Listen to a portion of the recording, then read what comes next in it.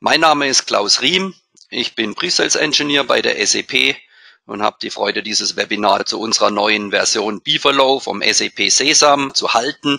Dann beginnen wir einfach mal mit den wichtigen Themen. Natürlich enthält so eine neue Version immer ein ganzes Bündel von neuen Funktionen, kleinere Dinge, größere Dinge. Nichtsdestotrotz gibt's auch aus unserer Sicht insbesondere Themen, die irgendwie strategisch sind, relevant, besonders relevant fürs Business. Das sind nicht immer die größten, aufwendigsten Implementierungen, aber die haben einen gewissen strategischen Wert. Und diese Funktionen, die haben wir hier jetzt auf diesem Slide zusammengestellt, aus diesem Grund auch hot, hot, hot. Das ist ganz wichtig für unser weiteres Geschäft. Und da steht natürlich gleich an äh, erster Stelle bei uns die Integration in die HPE-Welt, Zugriff auf die HPE Store Ones, die Dedupe Appliance der HPE über das, das Catalyst API. Da werden wir auf jeden Fall noch ein bisschen detaillierter drauf eingehen. Als zweites haben wir hier den Proxmox Hypervisor. Wie die meisten äh, von euch ja schon wissen, haben wir einen echten Schwerpunkt beim Thema Hypervisor Backup. Wir unterstützen schon sechs verschiedene Hypervisor mit, mit online Snapshot basiertes basiertem Backup der VMs. Nichtsdestotrotz haben wir jetzt hier einen äh, siebten Hypervisor mit aufgenommen, Proxmox, wo tatsächlich draußen wir feststellen, dass die äh, Nachfrage stark zunimmt. Insofern ist es für uns auch tatsächlich strategisch. Ja, dann haben wir hier das Thema Citrix Hypervisor. Jeder weiß den alten Namen Citrix Xen Server. Das hat Citrix jetzt geändert in Citrix Hypervisor, wahrscheinlich um hier ein bisschen den Mic-Trends zu folgen. Und da waren wir ja schon immer äh, als SAP äh, sehr stark im Citrix-Umfeld und haben da auch einige sehr gute Funktionen schon mit dabei gehabt. Zum Beispiel war man ja eine der ersten, die schon mit Cola jetzt mit der letzten Version das Incremental Backup vom äh, nativen Change Block Tracking ähm, unterstützt haben. Und trotzdem haben wir hier jetzt noch weitere Funktionalität dazu gebaut, nämlich den Single File Restore äh, aus dem Backup mit gemounteten virtuellen Disks. Und äh, das ist natürlich ein echter Mehrwert, um hier im Citrix-Umfeld äh, weiter wachsendes Geschäft zu generieren. Ja, dann haben wir natürlich immer unser Dauerthema. Das ist unser GUI und das Web UI und alles, was mit Oberfläche zu tun hat. Und da möchte ich dann auch zeigen, dass wir doch viel auf unsere Kunden und auf unsere Partner hören und versuchen hier Dinge umzusetzen, um hier einfach äh, den aktuellen Markttrends zu folgen. Ja, und dann zu, zu guter Letzt ein echter Hammer der jetzt tatsächlich total neu ist, quasi, dass wir jetzt auch äh, Office 365 Cloud-to-Cloud-Backup anbieten können und noch einiges mehr äh, an Cloud-Applikationen, wie man jetzt hier schon erahnen kann. Da werde ich dann am Ende noch mal ein bisschen drauf weiter eingehen. Das so die wichtigsten strategischen Themen im Überblick, äh, was wir alles so eingebaut haben, mache ich das hier mal alles auf. Da steht natürlich das, äh, was ich eben als strategische Themen schon erwähnt hatte. Aber weiterhin natürlich einiges anderes, was ich auch teilweise dann jetzt in den nächsten Folien noch anreisen werde. Hier das Domino-Thema ist immer wieder wichtig für uns, da ja andere Marktbegleiter gerade dabei sind, hier den Domino-Support abzukündigen, äh, sind wir eher dabei, das noch ein bisschen aufzubauen denn äh, tatsächlich wechseln die Kunden ja gerne mal ihre Backup-Software. Also viel lieber, als dass sie ihren, ihr Collaboration und, und Mailing-Tool wechseln wie Domino, so als ein Beispiel. Wir haben ja aber auch Themen wie zum Beispiel den, den äh, VMware Sandbox Restore, äh, auch ein, ein, eine Forderung aus einigen Projekten, insbesondere wenn es darum geht, Veeam abzulösen, äh, kommt es immer mal wieder auf den Tisch und dann haben wir da tatsächlich jetzt auch äh, was getan. Ja, so sind einige Themen, äh, die wir dann eben jetzt auch ansprechen können. Ja, fangen wir mit der HPE Store Ones an um was geht's da eigentlich? Und, und Hintergrund äh, ist tatsächlich eine äh, HPE-Partnerschaft, die wir eingegangen sind, die ja tatsächlich auch beidseitig ist. Die HP hat gern eine Zusammenarbeit mit uns und wir mit der HPE. Was ist da jetzt die Motivation dahinter, fragen wir uns. Und äh, zum einen natürlich unsere Partnerschaften, die wir haben. Wir haben ja schon immer starke Partnerschaften gehabt mit den entsprechenden Herstellern, mit SUSE, mit, mit Red Hat haben wir gute Partnerschaft. Ähm, aber insbesondere wichtig hier ist natürlich unsere starke SAP-Partnerschaft. Da haben wir schon länger den Fokus drauf, wie man in vielen Webinaren auch schon mitgekriegt hat. Und äh, HPE ist ja noch immer äh, heute der, der quasi der, der Marktführer, wenn es darum geht, Server für SAP-Umgebungen zu verkaufen. Und insofern braucht HPE natürlich auch einen starken Partner im SAP-Umfeld. Das ist essentiell wichtig für die HPE.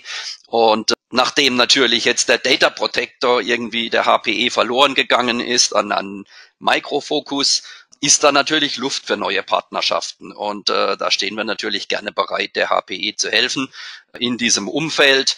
Insbesondere ist es auch ein, ein Eigeninteresse von uns, denn äh, die Data Protector Kunden sind nicht alle zufrieden mit Microfocus und, und ihrem Produkt und der Zukunft. Die Support Matrix hängt ein bisschen hinterher, kein SLES 15, kein, kein REL 8 und so weiter, was bei uns ja alles schon mit dabei ist. Und insofern haben wir im Moment doch einige Projekte auch auf dem Tisch, wo es um äh, eine Ablöse von Data Protector geht.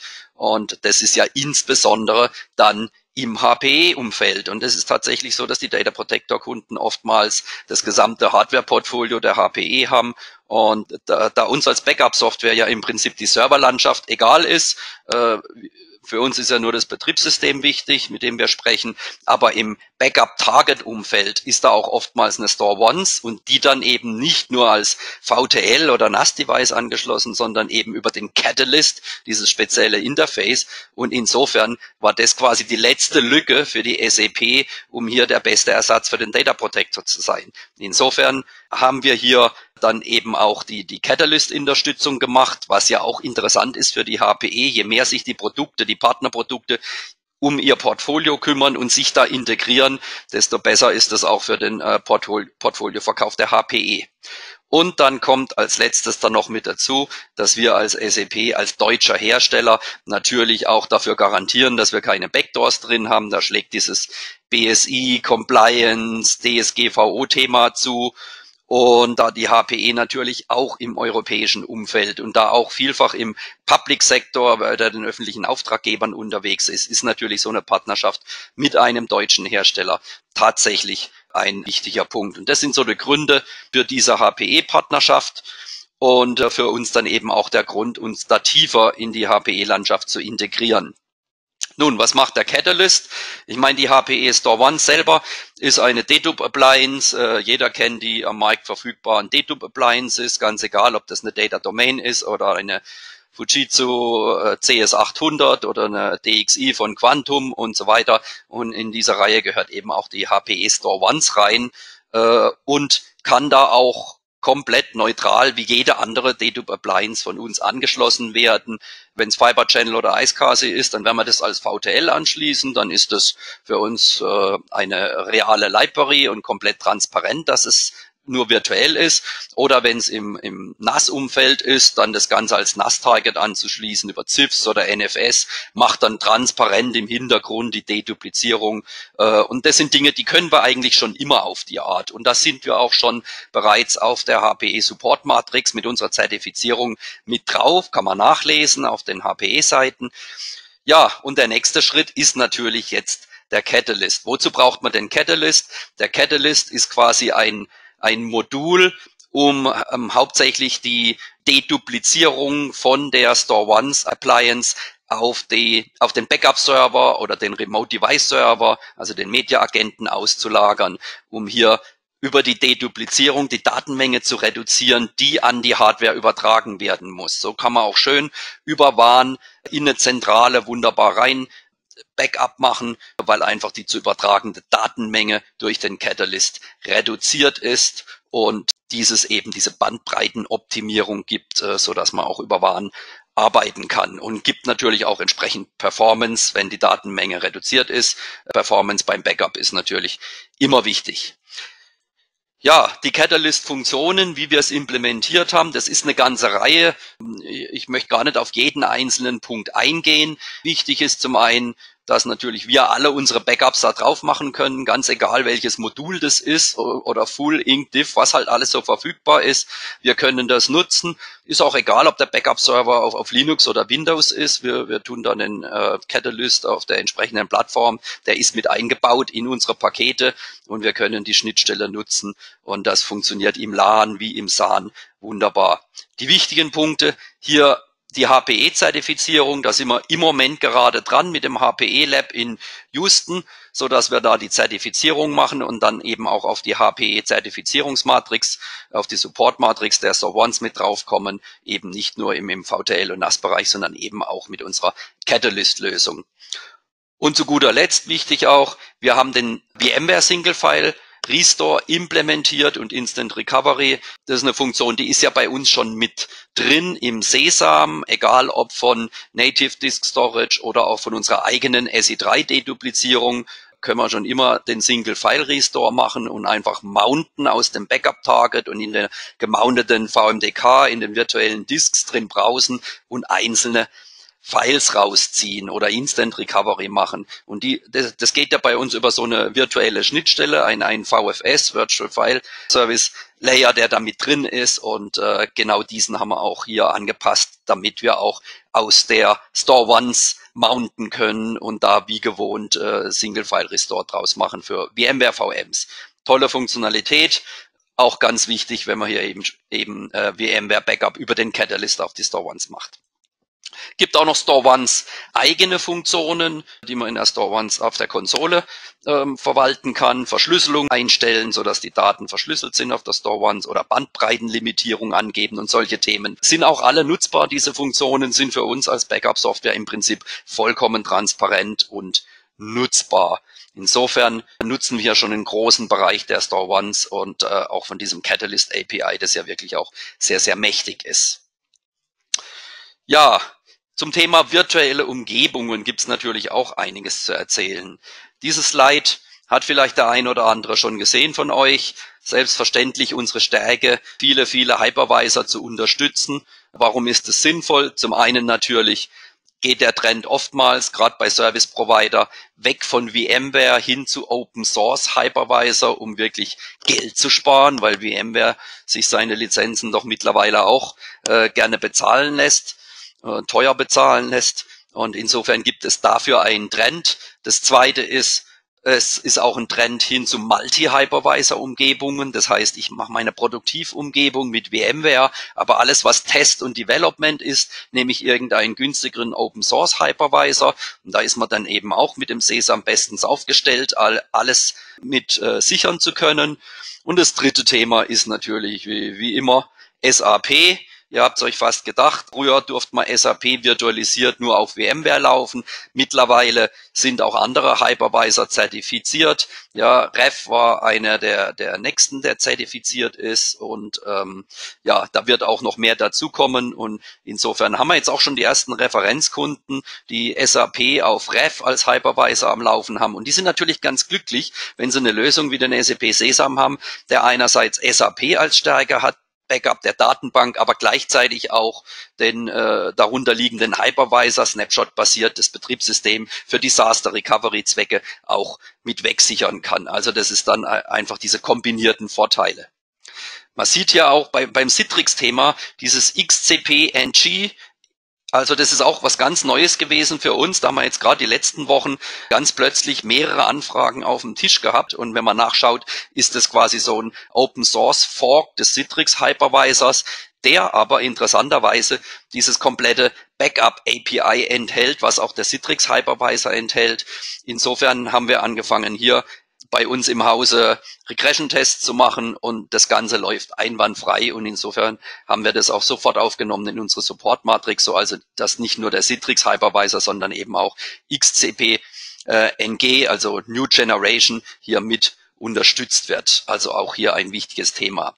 Und das eigentliche Thema, was ich ja erzählen wollte auf der Folie, ist eben dieses Boxmox-Thema als siebter Hypervisor mit dazu wo wir auch nun Online-Backup machen können und was unser Portfolio im Moment ergänzt auf sieben Hypervisor. Weitere sind tatsächlich auch schon in der Planung. Das wird hier noch weitergehen, äh, ganz klar. Und unser Ziel natürlich auch immer über ein einheitliches Look and Feel bei uns im, im GUI oder im Web UI hier den Restore und, und, und die Konfiguration und so weiter zu gestalten. Ja, zum Thema Proxmox. Es ist tatsächlich äh, eine sehr einfach zu bedienende Virtualisierung mit einer schönen Oberfläche. Proxmox äh, ist eine österreichische Firma. Äh, es passiert basiert auch wirklich auf KVM, QEMO, wie quasi die, die Ref, die, die Red Hat Virtualisierung genauso, ist da sehr, sehr ähnlich, aber ist sehr mächtig, äh, kann genauso als Cluster laufen, das Ganze. Und wenn man sich die Funktionalitäten so ein bisschen anschaut, wir können das alles wegsichern. Die haben auch noch so eine Art ähm, Container-Verwaltungsoberfläche mit dabei. Wir sichern auch diese spezifischen Proxmox-Themen, dieses LXC, quasi eine Datenbank, wo diese Templates drin liegen äh, für diese Container, die sichern wir auch alle mit. Insofern haben wir da auch wirklich eine sehr, sehr umfassende Lösung und nutzen alles, was dieses Proxmox API tatsächlich hergibt. Ja, und der Restore eben auch aus dem GUI oder auch inkludiert in unseren Self-Service Restore Wizard, unser Web UI, auch da der Restore von Proxmox möglich. Ja, hier sieht man den Anwahlpunkt, den wir neu generiert haben äh, in unserem GUI, um hier Backup-Tasks für Proxmox anzulegen. Als nächstes hier ein Snapshot für unseren Citrix Single File Restore. Was macht der? Wozu braucht man den? Normalerweise hat man bisher komplette VMs zurückspielen müssen, auch wenn man nur vielleicht an ein einzelnes File dran wollte, hat man trotzdem eine komplette VM rücksichern müssen. Und wenn man mal so eine Terabyte VM rücksichert, dann weiß man, das kann je nach Netzwerkumgebung und so schon eine gewisse Zeit dauern. Insofern ist der Trick hierbei, wie ja schon in VMware und in Hyper-V und so schon, schon länger verfügbar auch, ähm, dass man einfach die virtuellen Disks aus dem Backup mountet an eine Proxy-VM und äh, dann da drin browsen kann, wie wenn es ein, ein File-Backup wäre und sich einzelne Files raussuchen kann. Und dann werden eben nur diese einzelnen Files restored und nicht die komplette VM. Insofern ist der Restore deutlich schneller und einfacher, weil die zu übertragende Datenmenge natürlich viel geringer ist ja, mir, mir ist jetzt äh, aus, auf die Schnelle tatsächlich keine unserer Mic-Begleiter bekannt, die diese Funktionalität mit drin haben. Insofern würde ich es jetzt erstmal als Unique Selling Point bezeichnen und ich lasse mich da gerne noch eines Besseren belehren, aber ich denke, da sind wir tatsächlich vorne mit dabei, was ja hier Citrix ähm, Backup und Restore angeht. Ja, VMware Sandbox Restore das ist tatsächlich eine Funktionalität, die sich direkt aus Projekten ergeben hat. Ähm, die, diese Anforderung, eben VMs in abgeschottete Umgebungen zurückzusichern. Warum sollte man das tun? Naja, ganz einfach. Wenn ich jetzt zum Beispiel eine VM rücksichere und dann aktiviere und die hat von mir aus die, die gleichen Netzwerkumgebungen, gleiche IP-Adresse und so weiter, dann gibt es gewisse äh, Überschneidungen und kann auch wirklich Probleme machen. Äh, oder wenn das jetzt ein, ein Test ist, äh, den man mit einer VM machen möchte, oder vielleicht will ich gucken, ob da ein Virus drin ist, dann bin ich vielleicht auch froh. Das ist eine abgeschottete Umgebung. Also insofern ist es wichtig, einzelne VMs in, in abgeschottete Netzwerksegmente zurückspielen zu können, dass sie keinen Schaden anrichten. Und wir haben das auch so konfiguriert, dass man quasi mehrere VMs in die gleiche Sandbox zurückspielen kann. Das mag auch in manchen Fällen Sinn machen. Und äh, insofern können wir also in den Projekten, wo das gefordert war, dann eben auch jetzt diese Funktionalität bieten. Ja, ganz ist auch ein Sicherheitsthema natürlich, gerade wenn es um diese Ransomware-Themen geht. Viren hier abzuschotten ist niemals eine schlechte Idee ja, jetzt das Look and Feel von, von unserem GUI und dem Web UI. Äh, zu Anfang muss man natürlich erwähnen, dass wir hier jetzt auf äh, Java 11 aufsetzen, die neueste Version von Java. Und natürlich ganz, ganz wichtig, jetzt auch in unserer Support-Matrix mit aufgenommen haben, das OpenJDK 11, egal ob das jetzt von Red Hat oder von IBM ist oder so. Ähm, aber wichtig, Bisher haben wir ja auf dem Original Java Kit von Oracle basiert und wie ihr vielleicht alle wisst, hat Oracle seine Politik da ein bisschen geändert, seine Business-Politik. Das heißt, wenn man Oracle Java in Business-Umfeld nutzen möchte, dann ist es nicht mehr frei, sondern muss da heute dafür eine Gebühr bezahlen. Insofern besteht natürlich der Wunsch von ganz, ganz vielen Kunden, jetzt das äh, äh statt dem Oracle Java eben das OpenJDK zu verwenden. Und deswegen haben wir uns da jetzt massiv ins Zeug gelegt, um unser GUI auch hier bereitzustellen für OpenJDK. Ganz, ganz wichtig. Ja. Hier Jetzt dann ein bisschen äh, Hardcopies auf, auf unser neues GUI. Das ist jetzt das Bild, was jedem wahrscheinlich äh, einträglich bekannt ist, unser altes GUI. Sicher gibt's da immer die, die eine Seite, die sagt, um, ist vielleicht ein bisschen old-fashioned und die andere Seite sagt, oh, schön, klasse, bunt, logisch, alles toll. Ja. Äh, letztens war ich bei einem Kunden, der hat gesagt, ja, ähm, sieht teuer aus, war jetzt ein Kommentar, den habe ich so noch nicht gehört. Jedenfalls war trotzdem der Bedarf da, hier ein bisschen was zu tun und was zu ändern. Und insofern ist das neue Design jetzt mit neuen Icons in, in allen Dialogboxen und Übersichten hier jetzt quasi nur so die Einstiegsseite, wo man die Shortcut-Liste oben sieht äh, und die einzelnen Menüpunkte von der Hauptauswahl. Ja, der Hauptgrund für das ganze neue Layout und die neuen Icons ist natürlich das Thema hochauflösende 4K-Bildschirme äh, heute. Schon wenn jemand einen neuen Laptop kauft, hat er heute einen 4K-Bildschirm, 4K-Auflösung mit dabei. Und wenn man da unser altes GUI betreibt, dann reicht eine normale Brille als nicht mehr aus. Da braucht man dann schon eine Lupe, dass man überhaupt was lesen kann.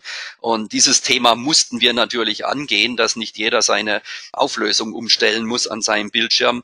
Und äh, insofern haben wir hier jetzt die Icons quasi separiert, skalierbar gemacht und das Ganze kann sich jetzt anpassen an die 4K äh.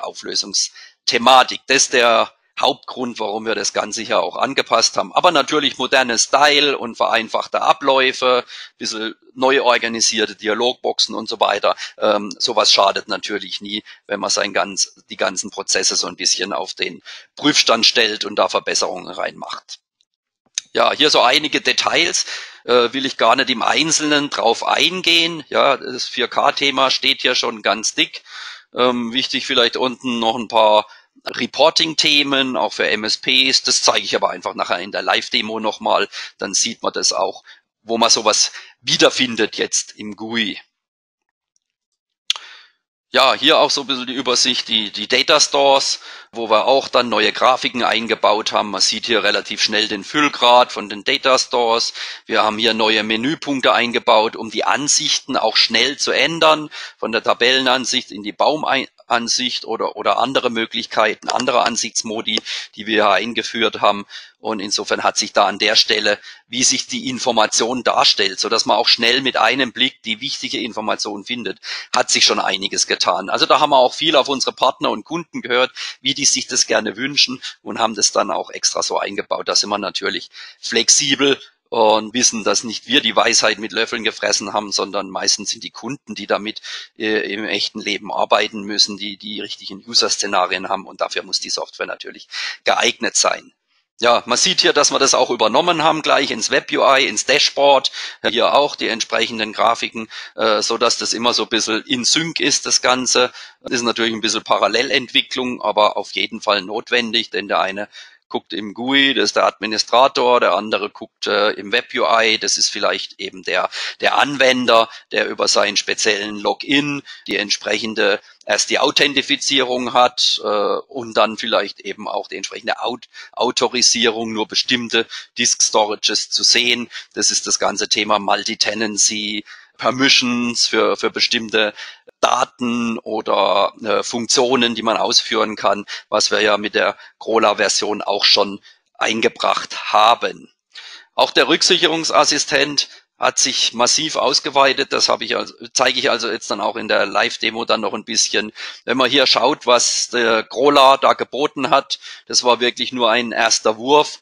Er konnte tatsächlich nur File Restore, ja, einzelne Dateien und Verzeichnisse. Das sieht man schon, das sieht ein bisschen leer aus. Also ganz so hat sich nicht dargestellt, aber ähm, um zu zeigen, was da in äh, Beaverlow dazugekommen ist, blende ich einfach die restliche Funktion ein und dann sieht man schon, ja holla, da ist jetzt tatsächlich was da. Wir können jetzt unsere ganzen Hypervisor rücksichern. KVM kommt jetzt im, im nächsten Schritt nach noch, aber sonst auch schon Proxmox hier mit drin, ja, dass wir direkt hier im Web UI auch Proxmox Restore machen können und Copano eben auch schon als erste Groupware-Anwendung. Aber das wird sich sukzessive erweitern. Da werden, äh, das, da sind wir ganz heftig am, am Werkeln tatsächlich. Da kommen jetzt dann mehr Funktionen, äh, Datenbanken und so weiter äh, und wird sich dann sukzessive vervollständigen.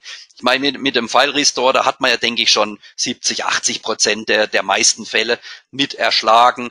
Trotzdem ist natürlich das Rücksichern von einzelnen VMs und so auch ein ganz wichtiges Thema. Und dann kommen weitere Spezialthemen eben auch. Ja, hier noch ein, ein Thema, wo ich wirklich froh bin, da, dass wir da jetzt einen ganzen Schritt weitergekommen sind. Die meisten Anwender, ihr werdet es alle kennen, das ist das Format, wie bisher die E-Mails verschickt wurden, die Notification-E-Mails. Wunderbar, schön. ASCII ja, mit äh, ja vielleicht ein, ein, ein View, wie, wie man denkt, vor, vor ein paar Jahren äh, aktuell war. Da war immer der Wunsch da, hier ein bisschen schöneres Layout zu haben. Mit Crawler hatten wir ja schon eine HTML-Engine mit eingebaut, das, das Rhythm, was bei uns drin ist, mit dem man HTML Reports generieren kann. Ja, wir hatten das äh, auf den Client Reports schon ein bisschen mit drin, haben jetzt aber uns tatsächlich dran gesetzt und diese HTML Engine benutzt, um hier weitere Reporting Templates zu generieren, die dann eben auch in Mails als HTML-Mail verschickt werden kann. Die haben wir jetzt auch als Default schon eingestellt, so, so dass heute die Mails mit der neuen Version endlich, möchte ich sagen, etwas gefälliger aussehen. Man sieht auf einen Blick an den Farben dann schon, okay, oh holla, hier ist alles rot. Da muss was passiert sein. Man sieht hier Backups with Error One und dann ist oben die Leiste rot und man weiß sofort, da muss ich ein bisschen genauer hinschauen und, und wenn es grün ist, lasse ich es weitergehen. Also das ist jetzt nur ein Auszug, da geht, das geht weiter unten noch weiter. Wir haben mehrere unterschiedliche Templates generiert, ja ganz verschiedene Templates, äh, die man auch teilweise selber aktivieren kann oder sogar, wer sich da noch ein bisschen auskennt, auch anpassen kann oder die Königsdisziplin ist natürlich eigene Templates zu generieren, HTML-Reports nur für meine Back, äh, Oracle Backups und einen anderen HTML Report nur für meine MS SQL Backups und solche Wünsche, die sind ja vielfältig und das ist mit, mit so einer flexiblen Engine sehr, sehr mächtig und natürlich alles möglich. Ja, bezüglich Multi-Tenancy, wir haben auch noch eine Änderung gemacht bei der Active Directory und LDAP Konfiguration. Da war also es bisher nur möglich, quasi ein einzelnes Active Directory und ein einzelnes LDAP Directory einzubinden. Es hat sich herausgestellt, dass das in der Realität tatsächlich nicht ausreicht. Es gibt doch Konfigurationen, wo auch verschiedene Standorte eigene Active Directory äh, Domain Controller haben und äh, insofern besteht oder bestand auch die Notwendigkeit, hier mehrere Active Directory einzubinden und mehrere LDAP Directories parallel alles und das ist jetzt möglich und damit ist es möglich eben viel, viel äh, flexibler und, und granularer auf unterschiedliche Konfigurationen bei den Kunden äh, einzugehen. Ja, einfach mal noch so ein bisschen ein Ausblick wie es denn weitergehen soll. Also wir sind im Moment tatsächlich noch in der Beta-Phase und, und sammeln noch die, das ganze Feedback der Beta-Kunden ein. Das ist uns auch sehr, sehr wichtig, denn wir wollen natürlich, dass die Qualität entsprechend stimmt. Und insofern werden wir dann äh, jetzt in die Endphase gehen und äh, definitiv diesen Monat diese Version freigeben. An, an Funktionen sind dann natürlich die Sachen hier enthalten, worüber wir jetzt, jetzt schon die ganze Zeit gesprochen haben. Aber die Planung für Herbst, Q3 irgendwann dann ein Service Pack rauszubringen, wo es auch noch wichtige Funktionen gibt, äh, wo man tatsächlich wissen muss. Also wir sind hier gerade dabei zu schauen, dass wir das Nutanix AHV-Thema, also mit dem Acrop äh, Acropolis Management Interface hier mit einzubauen. Nutanix mit VMware oder mit Hyper-V ging ja die ganze Zeit schon, denn das sind die Standard-Interfaces. Nutanix VMware kann man einfach unseren VMware-Agenten nehmen, nehmen, der nutzt das wie Storage API, das steht zur Verfügung. Und äh, da haben wir auch Kunden, die das genauso einsetzen. Ja, bei Nutanix AHV, da ist zwar ein KVM drunter, jetzt haben wir ein schönes KVM-Modul, ist leider in dem Fall nicht nutzbar, sondern Nutanix AHV hat ein eigenes Backup API und deswegen müssen wir quasi einen komplett neuen Agenten dafür entwickeln. Ist natürlich ein bisschen Arbeit, kann man sich vorstellen, aber wir denken, das ist wichtig, diese Hyperconverged Lösung und, und in diesen Markt auch hier reinzugehen, ist dann für uns ja im Grunde der, der achte Hypervisor, der unser Multi-Hypervisor äh, dann auch vervollständigt und insofern Open Source passt in unsere Strategie ist jetzt dann auch SAP zertifiziert, passt in unsere Strategie. Multi-Hypervisor ist unsere Strategie. Also eigentlich alles gut, dass SAP sowas auch unterstützt. Ja, dann haben wir das Thema äh, mit dem Catalyst hier auch weiterzugehen. Mit Beaverlow können wir jetzt schön Backups und Restore vom Catalyst machen oder auch die Backups wieder löschen, wenn die Retention-Zeit abgelaufen ist. Mit dem nächsten Service Pack werden wir dann Catalyst Copy mit rausbringen. Das bedeutet, wir können dann auch die Store Ones replizieren lassen und über das Catalyst API. Und äh, was ist der Vorteil? Der Vorteil ist, die Backup-Software kennt diese Replikate, diese Backup-Kopien und wir können dann auch direkt davon wieder ein Restore machen, weil eben die Backup-Software Kenntnis von diesem Replikat hat. Auch eine wichtige Funktion, wenn man hier mehrere Store Ones an unterschiedlichen Standorten hat und die Daten hin und her repliziert. Und dann das Thema Cloud Banks, quasi die Funktionalität, um aus der Store Ones in, in die Cloud ein Replikat abzulegen über S3 oder auch Azure oder solche Themen, äh, ist im Prinzip sehr, sehr ähnlich zu, zu dem, was wir anbieten mit unserer eigenen Deduplizierung. Wie, wie ihr alle wisst, können wir S3 Dedup Store seit Crawler auch schon über S3 ein Replikat in AWS ablegen zum Beispiel oder auf jedem Software-Defined Storage, der jetzt zum Beispiel Ceph basiert ist und da auch eine S3-Schnittstelle anbietet, ein SUSE Enterprise Storage zum Beispiel, ja, so dass wir da auch Replikate ablegen können und ist hier sehr, sehr ähnlich wie, wie die Store Ones das tatsächlich macht. Dann das Thema MS SQL, Always On. Je mehr man in das Enterprise-Umfeld reingeht, desto wichtiger wird es, dass man eben nicht nur Active Passive unterstützt, sondern auch Active Active.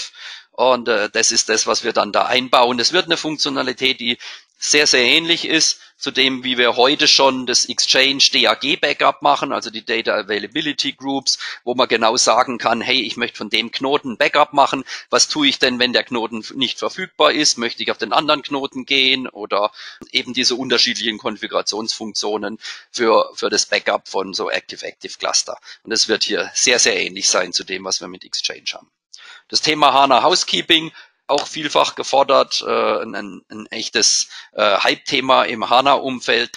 Wie, wie ihr vielleicht wisst, gibt es einen Backup-Katalog. Äh, natürlich die Backup-Software hält einen Katalog. Wir wissen, welche Backups wir gemacht haben und wann die auslaufen und wo sie liegen und so weiter.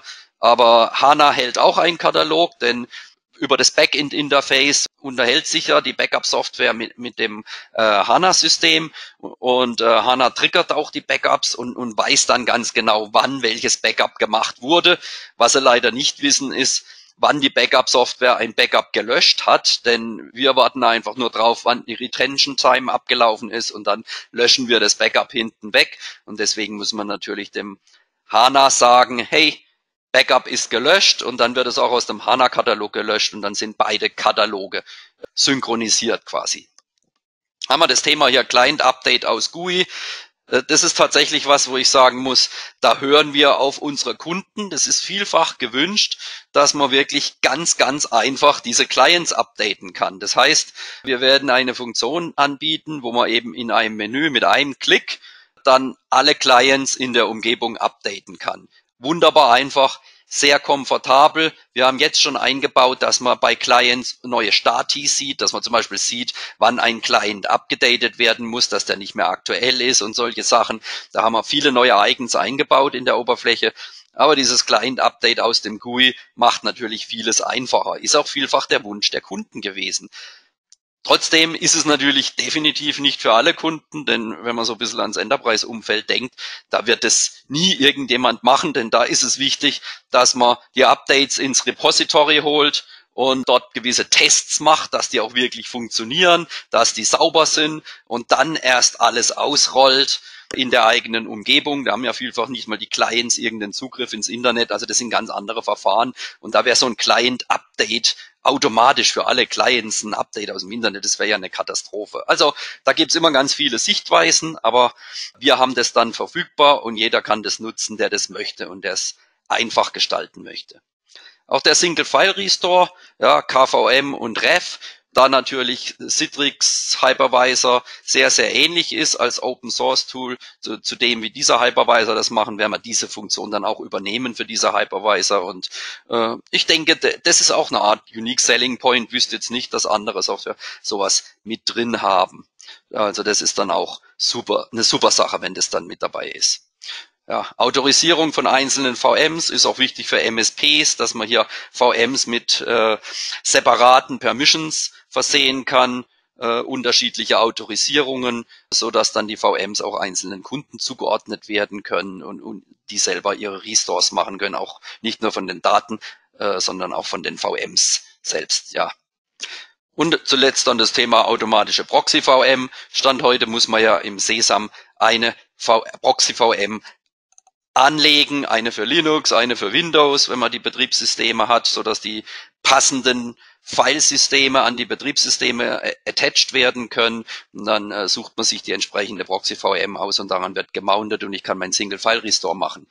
Kunden wünschen sich natürlich mehr äh, automatische Dinge. Das heißt, die Proxy VM soll automatisch angelegt werden, wird als irgendein Image irgendwo äh, runtergezogen. Das, das Image ist dann die, die VM und daran wird gemountet und, und nach dem Browsen und Restore wird dann die Proxy VM wieder entsorgt. Muss man natürlich dafür danach schauen, dass entsprechend Ressourcen in der virtuellen Umgebung frei sind und, und, und. Ja, jetzt natürlich zu guter Letzt noch der, der Hammer. Das heißt, wir als SAP bieten eine Lösung für äh, nicht nur Office 365, sondern eben für mehrere Cloud-Lösungen an. Es ist ja tatsächlich so, wenn man mit den Kunden spricht. Zum einen ist Office 365 tatsächlich was, wo viele Kunden hingehen, auch wenn man das Cloud-Thema im Allgemeinen, manchmal insbesondere in Deutschland vielleicht ein bisschen zwiespältig ansieht, aber Office 365 ist ein Thema, äh, auch entsprechend gepusht von Microsoft, was sich stark ausbreitet. Insofern sind die Anforderungen der Kunden da und da sind äh, natürlich wir auch als Backup-Hersteller gefordert, hier eine Lösung dafür zu bringen.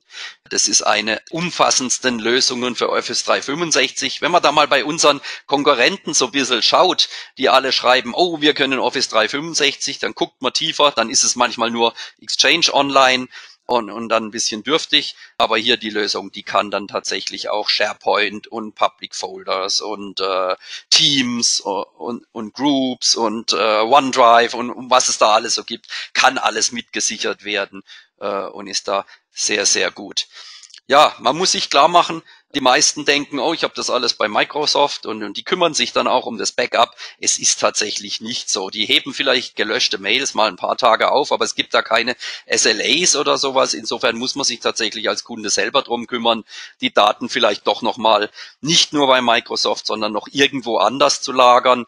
Und äh, wir haben hier eine Cloud-to-Cloud-Lösung. Das bedeutet, wer in Office 365 geht, hat sich eh schon für die Cloud entschieden und dem ist natürlich dann sehr recht, wenn er seine Daten von einer Cloud in eine andere Cloud bewegen kann, um dort hier äh, eine weitere Kopie zu haben. Ja, wie sieht es heutzutage so ein bisschen aus, wenn man seine Daten mit Office 365 äh, verwaltet? Da gibt es einen Teil, für den Microsoft natürlich gerade stehen muss. Hier alles, was jetzt Hardware oder Hardware nah irgendwie sich noch bewegt. Ähm, aber hier oben alles, was Kundenthemen sind, Benutzerdaten, die Administration, da muss er eingreifen, das muss der Kunde selber anlegen, der muss sogar noch seine Mails selber schreiben und so weiter. Das sind alles die Daten weiter oben. Ja, und äh, insofern ist natürlich auch fürs Backup ein gewisser Gefahrenbereich hier auch auf Kundenseite, für den Microsoft sich nicht verantwortlich zeichnet. Und äh, insbesondere sind es natürlich ja menschliches Versagen, wenn ich oh, oh Mist, ich habe mir aus Versehen eine E-Mail gelöscht, da kann Microsoft natürlich nichts dafür. Aber äh, nichtsdestotrotz bin ich dann froh, wenn ich ein Backup habe und mir diese E-Mail wiederholen kann. Und genauso auch die ganzen Themen wie Ransomware, Hacker, Viren und so weiter oder äh, ja, Microsoft Office 365 Cloud ist befallen oder verdoppelt die Preise und ich möchte da raus oder so. In, in jedem Fall bin ich froh, wenn ich eine Kopie der Daten irgendwo anders dann noch zur Verfügung habe. Ja, und was wird gesichert? Ich habe es schon ein bisschen erwähnt. Also das ist sehr, sehr vollständig, sieht man hier schon an den Funktionen, gehe ich gar nicht mehr im Einzelnen drauf ein, dass das alles gesichert wird. Aber darüber hinaus natürlich noch, und das ist ein echt cooles Add-on, muss ich sagen, wer jetzt nicht SAP nutzt, sondern sein CRM-System über Salesforce in der Cloud nutzt, also Salesforce als Cloud-Applikation, äh, dann äh, auch das können wir sichern von Cloud zu Cloud.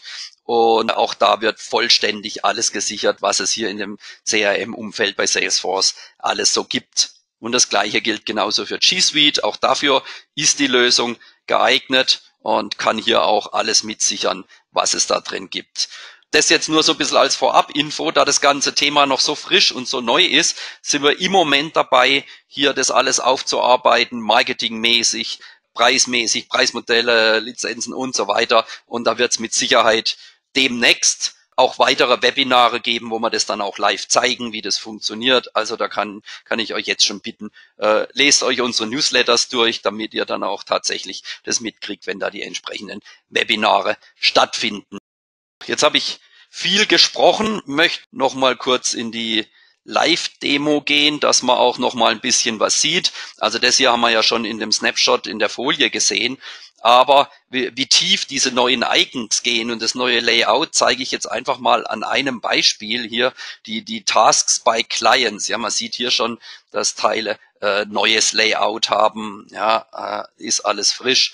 Aber hier war bisher immer nur der, der Tree View sichtbar, also ich kann mich dann da durchhangeln und dann habe ich irgendwo unter den Knoten meine Rechner und darunter sind dann die Backup-Tasten. Jetzt sieht man schon hier, dass wir quasi den Table View und den Tree View kombiniert haben. Das bedeutet, äh, wir haben hier zusätzliche Informationen. Man sieht hier bei dem Server äh, unterschiedliche Spalten. Man sieht schon, dass es ein Windows-Server ist.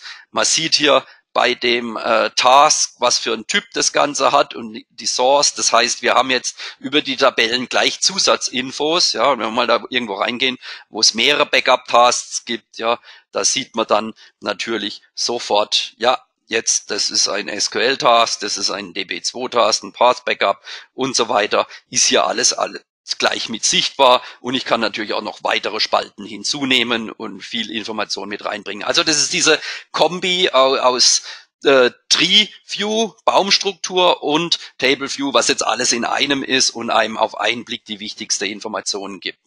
Aber auch wenn man hier auf die Listübersicht geht, ja, auch da haben wir natürlich jetzt diese Grafiken eingebaut, so dass man sofort sieht, was für ein Typ ist es, kann auch entsprechend filtern und so weiter.